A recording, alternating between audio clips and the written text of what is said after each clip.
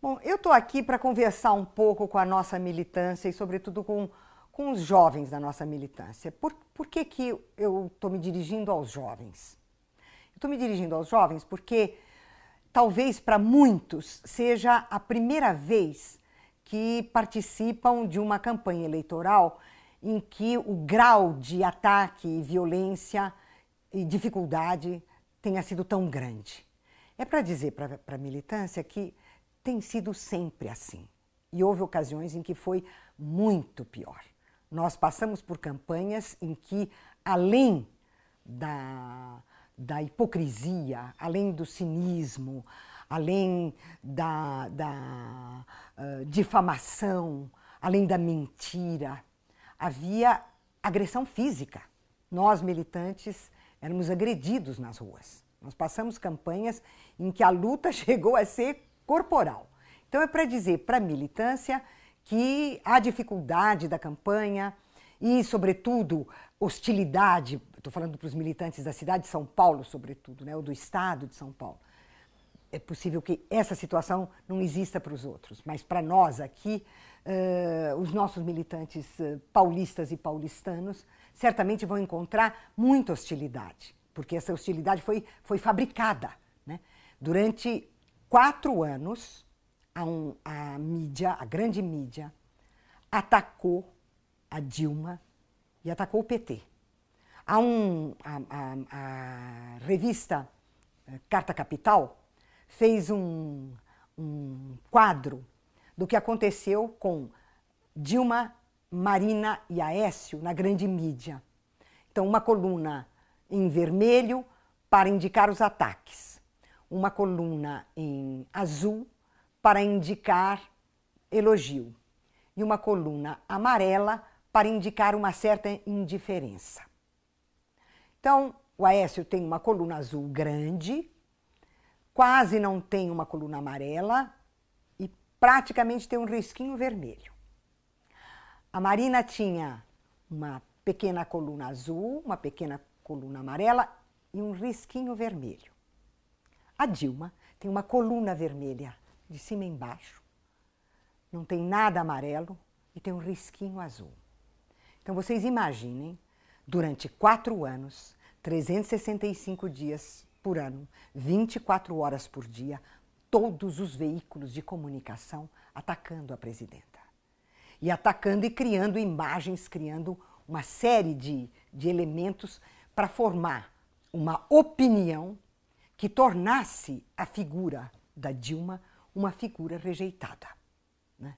O que foi feito com ela na Copa é, é, é inacreditável, porque o primeiro grito no uh, estádio, o primeiro grito contra ela, Dilma vai tomar, foi uma jornalista. Não foi algum uh, popular que disse isso. Foi uma jornalista que estava num camarote e do alto do camarote ela iniciou com esse grito. Então, militância é brabo, é barra pesada, porque nós temos o grande capital, sobretudo o capital financeiro, os grandes bancos, a mídia, como base aliada dos tucanos. Então, temos que ir com a cara e com a coragem, entrar na luta, porque quem nós temos conosco? Conosco nós temos o povo. Nós temos o povo brasileiro. E eu estou aqui para fazer uma convocatória, porque o nosso povo está mal informado. Porque com esse bombardeio que vem pelas rádios, pelas televisões, pelos jornais, pela conversa no ônibus, no metrô, na, na, na, no trabalho, o que o patrão diz, o que o gerente falou, o que a dona da boutique comentou, tudo isso vai formando uma desinformação para o povo brasileiro. Então, eu vim aqui convocar a militância para, a partir de hoje, cada um de nós vai convencer, explicar e esclarecer todo mundo que encontrar. Se você convencer quatro pessoas, tá ótimo. Se você esclarecer cinco, maravilha. Se você conseguir ser ouvida por dez, mais interessante ainda, essa é a nossa tarefa. A nossa tarefa é uma tarefa educativa, é uma tarefa pedagógica. Nós temos que fazer o trabalho político da verdadeira informação.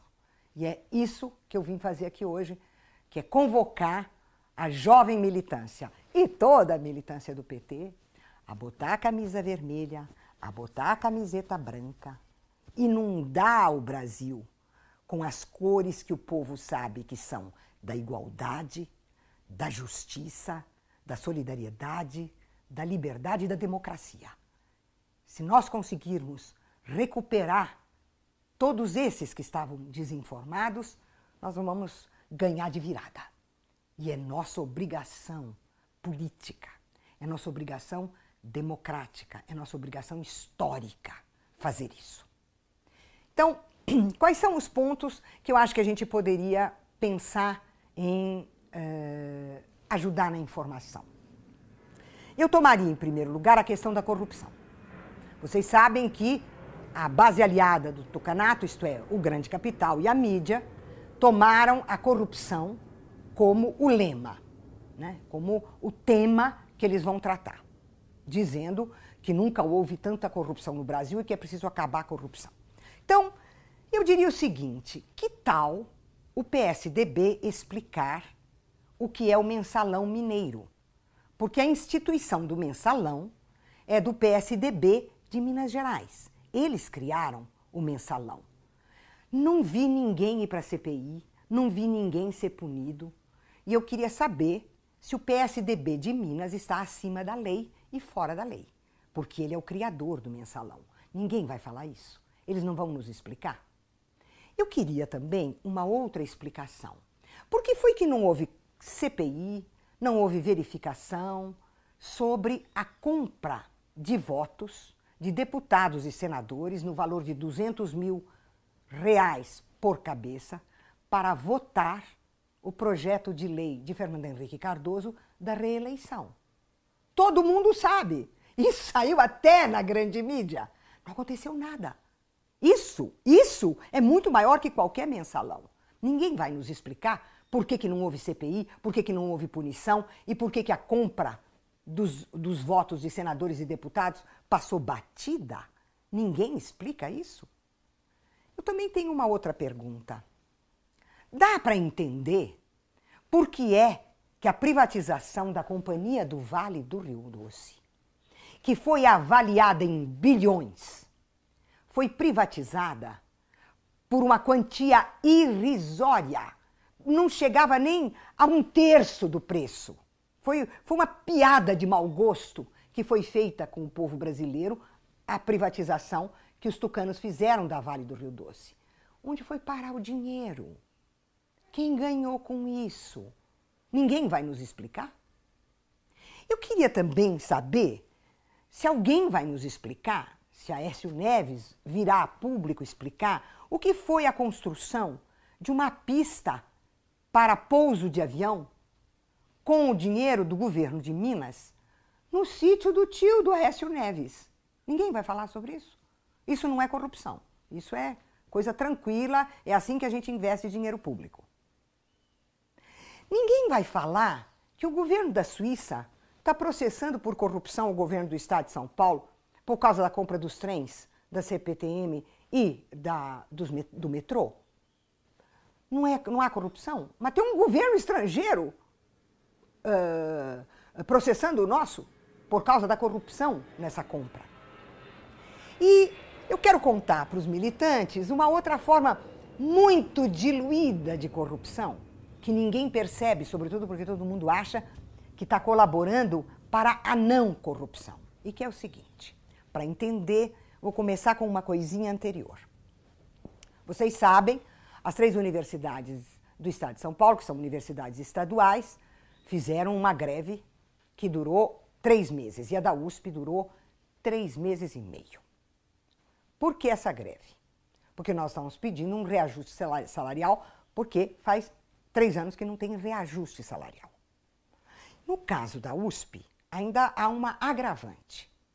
Por causa do ProUni, por causa das cotas, por causa do desenvolvimento econômico e o pleno emprego, o número de estudantes na USP dobrou. 100% a mais de estudantes. Entretanto, o número de professores aumentou em 5%. Não foram abertos concursos, não há verbas para abrir concursos e contratar professores. Você dobra o número de estudantes, você abre outras unidades, mas você mantém o quadro docente fixo. E o número de funcionários caiu 10%. Também porque não há verba para ter os funcionários. E a pergunta é: mas que diabo? O que acontece? E a resposta é tão simples. Vocês sabem de onde vem o dinheiro com que o governo do estado paga o prêmio da nota fiscal? Ele vem da verba da educação. Então, não se fazem os concursos para as universidades, você não aumenta o número de professores, você diminui o número de funcionários, você não cria infracondi infracondições de trabalho para os estudantes e para os professores, porque o dinheiro é desviado numa outra direção. Que eu saiba, no meu dicionário, isso se chama corrupção. Ninguém vai explicar. Então, a primeira coisa que eu acho que a militância tem que colocar na, na rua é onde está a corrupção. E a segunda coisa importantíssima é a seguinte informação: Dilma Rousseff equipou a Polícia Federal, ampliou os quadros da Polícia Federal, criou o sistema informatizado da Polícia Federal, articulou a Polícia Federal com a Interpol e deu autonomia para a Polícia Federal. E por isso, a Polícia Federal pôde fazer e tem feito todas as uh, medidas ligadas à punição da corrupção mostra-se a corrupção e se pune a corrupção. Esse caso da Petrobras foi a Dilma que exigiu que fosse feita a investigação. Portanto, não há ninguém com autoridade política e autoridade ética no Brasil para falar de combate à corrupção do que Dilma Rousseff. Se aparece tanto, tem corrupção aqui, tem corrupção ali, é porque o Brasil estava acostumado a que tudo virasse pizza ou que se jogasse a corrupção embaixo do tapete. Todos esses casos que eu enumerei para vocês no começo, né? Tudo que aconteceu, que os tucanos fazem e fizeram. Ou fica embaixo do tapete ou ninguém fala. Dilma não permitiu isso. E, portanto, a militância não tem que colocar nenhum, nenhum capacete e nenhuma carapuça de corrupção. Porque a corrupção não está conosco, a corrupção está do lado de lá e Dilma Rousseff é a principal combatente da corrupção. Então precisa explicar para a população todas as medidas institucionais que Dilma tomou para garantir, através da ação da Polícia Federal, a punição da corrupção. E é por isso que se vê tanta.